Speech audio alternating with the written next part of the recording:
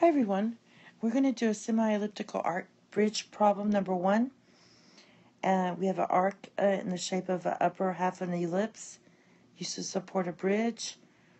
Um, and this is a river that's going underneath the bridge. The center of the arc is six meters above the center of the river.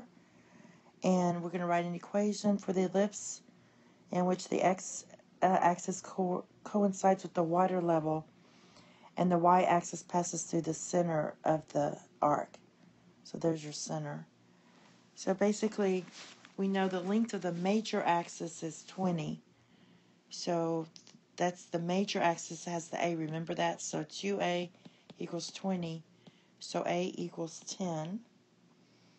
And we know that uh, B is 6.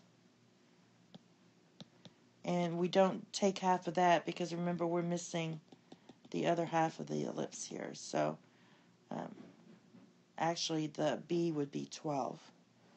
All right, and so we just write the equation, and we know that it's x squared over a squared, which is going to be 100 plus y squared over b squared, which is going to be 36, equals 1. And that's your equation. And that's all.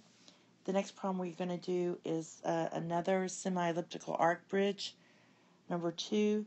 And it's going to be a little more complicated than this one. But basically, this is a basics uh, problem because the center was 0, 0 here. Thank you and have a nice day. Bye-bye.